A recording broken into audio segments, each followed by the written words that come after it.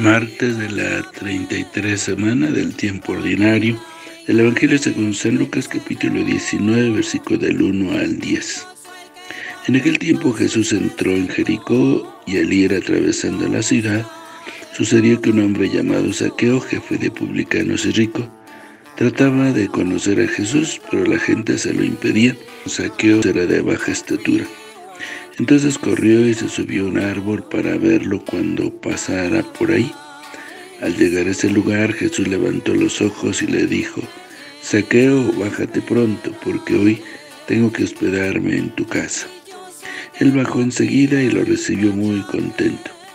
Al ver esto, comenzaron todos a murmurar diciendo, ha entrado a hospedarse en casa de un pecador. Saqueo poniéndose de pie dijo a Jesús, mira Señor, voy a dar a los pobres la mitad de mis bienes, y si he defraudado a alguien, le restituiré cuatro veces más. Jesús le dijo, hoy ha llegado la salvación a esta casa, porque también él es hijo de Abraham, el Hijo del Hombre venido a buscar y a salvar lo que se había perdido. Palabra del Señor. Gloria a ti, Señor Jesús. El encuentro de Jesús con Saqueo viene después de la curación del ciego. Saqueo era un publicano, funcionario de aduanas y normalmente era ladrón. Por eso rico, además era jefe de publicanos.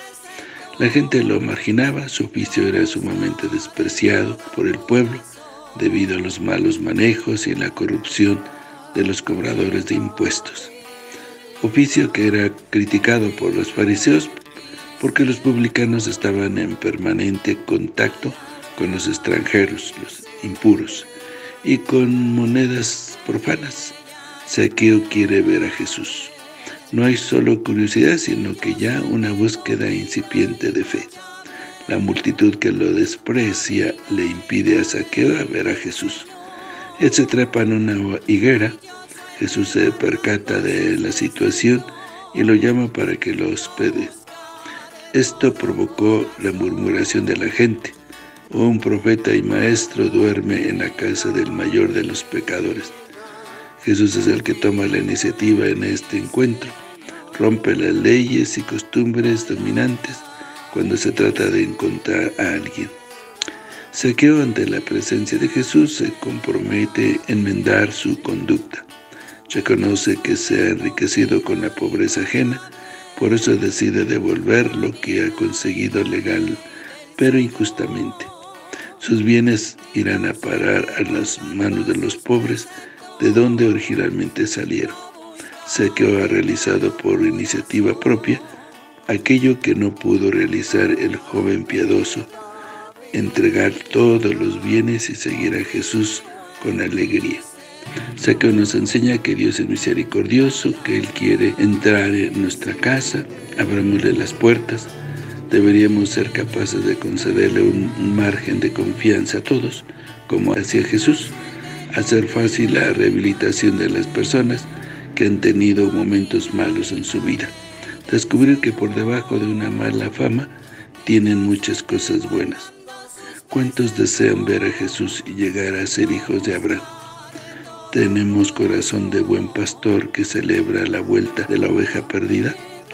¿O nos encajonamos en la justicia como los fariseos intransigentes ante las faltas de los demás? Si Jesús vino a buscar y salvar lo que estaba perdido, ¿quiénes somos nosotros para rechazar a los demás? Cada vez que celebramos la Eucaristía y comulgamos, recibimos la visita del Señor. Debería notarse que ha entrado la alegría en nuestra vida y que cambia nuestra actitud con los demás. Que el Señor los bendiga.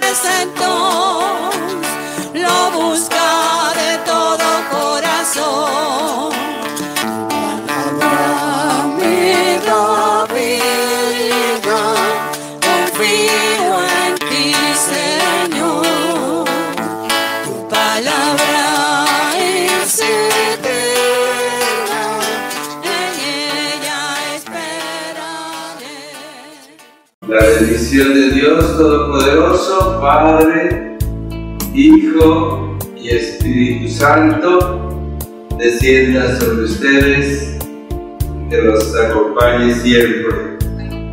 Que el Señor los bendiga. Si te gustó este video y deseas seguir recibiendo el Evangelio, misa en vivo, oraciones y muchas reflexiones más, ayúdanos a seguir creciendo. Suscríbete a este canal de YouTube, activa la campana de notificaciones, deja tu comentario, dale me gusta y compártelo con todos tus seres queridos. Que el Señor te bendiga a ti y a toda tu familia. Bendiciones.